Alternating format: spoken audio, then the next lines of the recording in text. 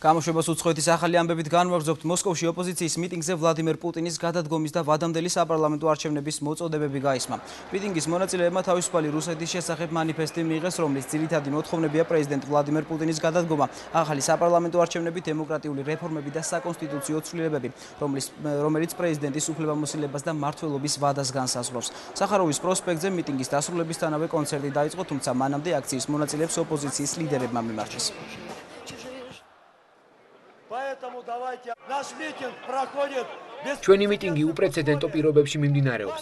მასობრივი ჩხრეკა დაპატიმრება, სისხლის სამართლის საქმეები, მიტინგების შესახებ კანონში დრაკონული ცვლილებები. ეს ყველაფერი იმისკენაა მიმართული, რომ ჩვენი აქტიობა ჩაკლან. მაგრამ დღეს რეპრესიების საპასუხოდ მოსკოვის ქუჩებში 100.000-ზე მეტი ადამიანი გამოვიდა.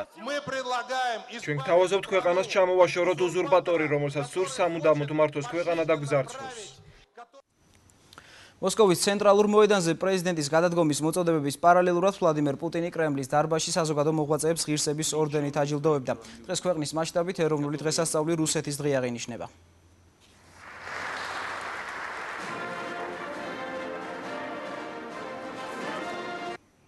სირიაში ქალაქ ჰომსის ინტენსიური დაბომბვა გრძელდება სამთავრობო ძალებმა მეამბოხების პოზიციებზე საავიაციო და საარტილერიო იერიშები დაიწყეს.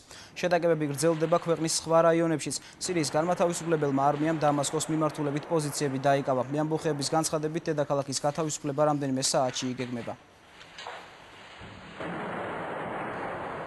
დენვერის ჩრდილოეთით მთებში ხანძარმა 157 კვადრატული კილომეტრის ფართობი გაანადგურა. დაზიანებულია 100-მდე შენობა. კოლორადოს შტატში მოსახლეობის ევაკუაცია დაიწყო. დასავლეთის შტატებში ერთდროულად ცეცხლის 17 ძლიერი კერაა. დღეები იწვის არიზონაში, კალიფორნიასა და სხვა შტატებშიც.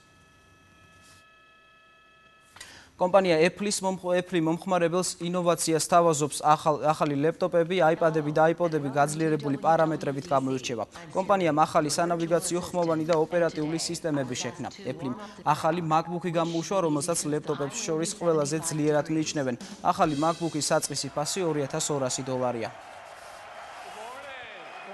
ecosystem on the planet This is the number that is so mind is the most vibrant app. Apple-ის მაღაზია პლანეტაზე ყველაზე დინამიკურად მუშაობს.